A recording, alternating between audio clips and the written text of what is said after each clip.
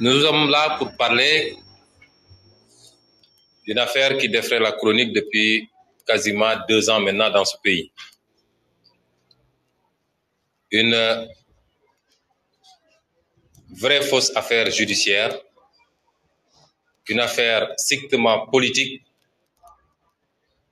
instrumentalisée par le pouvoir de Macky Sall dans le dessein exclusif d'écarter un candidat qui de loin semble être l'un des mieux placés pour remporter la prochaine élection présidentielle au Sénégal. De quoi est-il question? Vous rappelez qu'il y a deux ans, presque mois pour mois, puisque l'affaire avait éclaté le 3 février 2021, nous sommes presque à cette même date pour l'année 2023, où une personne avait déposé une plainte contre ma personne pour un prétendu viol et menace de mort. J'avais très tôt dit à tout le monde qu'il s'agissait d'un grossier mensonge, d'un complot, et j'avais immédiatement cité un certain nombre de personnes impliquées dans le complot. Vous conviendrez tous que l'évolution de ce dossier a fini par convaincre tous les Sénégalais et même la communauté internationale qu'on est en face d'une mascarade, et j'y reviendrai. Mais le président Macky Sall et son gouvernement n'en ont pas démordu. Parce que ce qu'il faudrait comprendre, c'est que plus que tout autre, c'est avec ce dossier-là que le président Macky Sall est en train de jouer son avenir politique. Je veux bien que les gens le comprennent, au niveau national comme au niveau international. L'avenir politique de Macky Sall de son parti, l'Alliance pour la République, et de sa coalition politique est en train de se jouer avec ce dossier. C'est parce pourquoi ils n'ont lésiné sur aucun moyen. Aucun moyen. Malgré l'évidence du complot dans ce dossier, malgré l'absence totale de preuves pouvant m'accabler, Macky Sall et son régime se sont agrippés parce qu'ils en font une question de vie ou de mort, au risque même d'embraser le pays. Je voudrais dire qu'on est là dans la poursuite, dans la continuation du scénario d'une dame appelée Georgiane, qui se trouve être l'épouse, m'a-t-on dit en tout cas, de M. Antoine Diom, ministre de l'Intérieur de Macky Sall. Pourquoi je dis cela? Parce qu'on a tendance souvent à oublier, il est bien qu'on recontextualise un certain nombre de choses. Dès l'éclatement de cette affaire, Madame Georgiane avait fait fuiter un SMS dans lequel elle définissait le plan qui était le leur. Dans ce dossier DSK, il ne faut surtout pas l'arrêter ou l'emprisonner. Le pays et les Sénégalais d'ici et de l'étranger vont manifester. Le pays sera enfermé dans un cycle. Il ne faut surtout pas l'arrêter. Il faut l'inculper, le convoquer, que les juges lui posent des questions, qu'on programme le procès et qu'on qu lui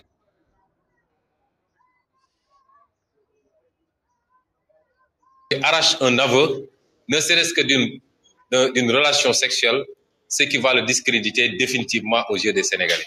Ce message, vous l'avez tous lu et vous l'avez vu. On est exactement dans le déroulement de ce schéma qui n'a rien à voir avec un dossier judiciaire. Nous avions très tôt cité les acteurs du complot. Monsieur Mamour Diallo, et vous avez tous entendu des audios qui l'incriminent. Vous avez entendu des témoignages qui l'incriminent. Et tout ça est entre les mains de M. Maham Diallo que je ne considère pas comme un juge d'instruction, mais j'y reviendrai.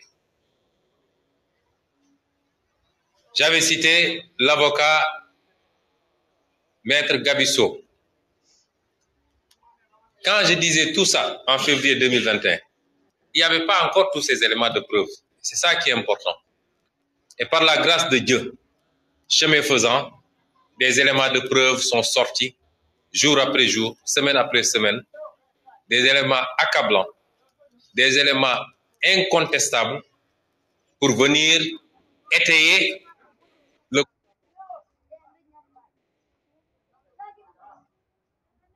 complot et désigner les responsables de ce complot. J'avais cité tous ces gens-là.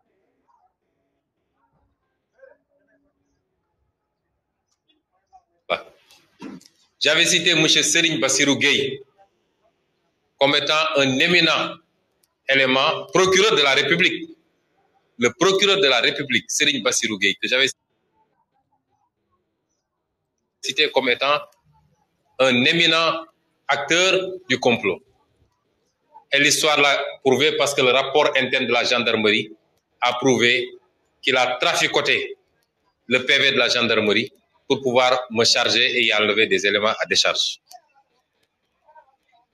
J'avais cité beaucoup d'autres éléments et j'y reviendrai. Je voudrais que les Sénégalais ajoutent à cette liste à partir d'aujourd'hui M. Omar Maham Diallo.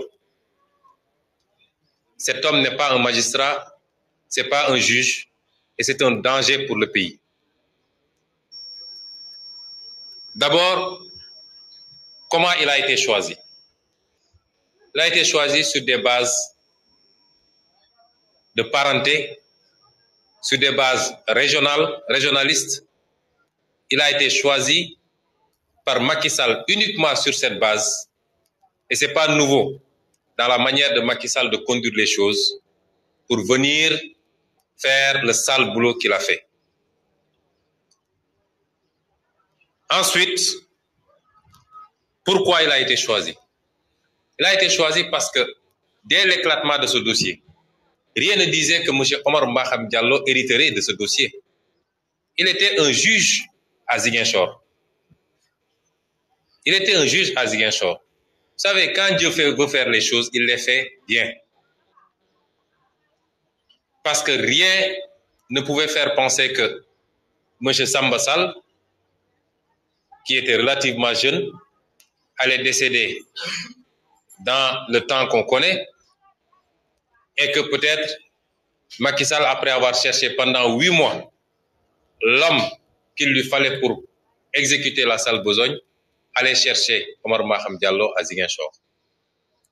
Et c'est parce qu'il ne s'y attendait pas qu'il avait publié sur sa page Facebook un texte à charge contre ma personne. Un texte qui a été écrit par un militant de la paire qui, est, qui vit, je crois, en France, qui passe tout son temps à dire du mal de moi et qui se trouverait être son beau-frère. Et un juge astreint à un certain nombre d'obligations, particulièrement dans un dossier en cours en justice, ce juge-là s'est permis de publier sur sa page Facebook un texte à charge qui me condamnait et qui m'envoyait même directement en prison. Pensez-vous que qu'il soit normal huit mois plus tard qu'on aille chercher ce même juge pour lui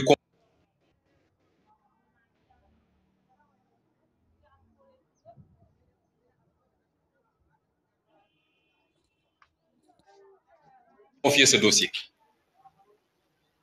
Et c'est pourquoi on ne pouvait rien attendre d'autre de Omar Maham Diallo.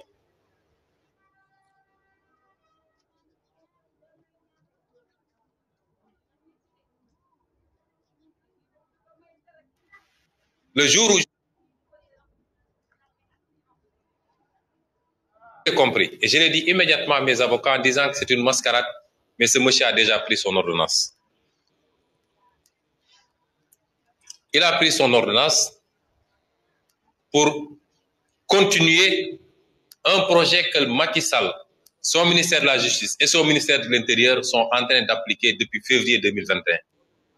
Bien avant ça, vous avez tous vu que ils ont commencé sous prétexte de faire des travaux au tribunal à mettre des barrières électriques autour de tout le tribunal. pour préparer un procès alors que le juge d'instruction était en train d'instruire. Vous ne mettez pas des barrières électrifiées à Rebus ou je ne sais où, vous en mettez au tribunal parce que vous pensez qu'il vous faut forcer un procès et que ce serait un procès à risque. L'attitude de ce juge est déplorable et n'honore pas la magistrature.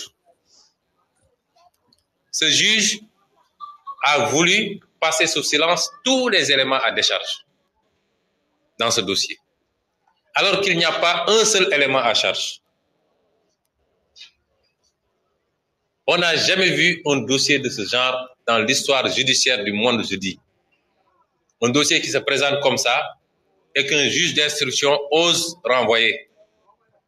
Il n'a même pas osé suivre la procédure. C'est par mail qu'il a envoyé aux avocats pour leur dire que je renvoie.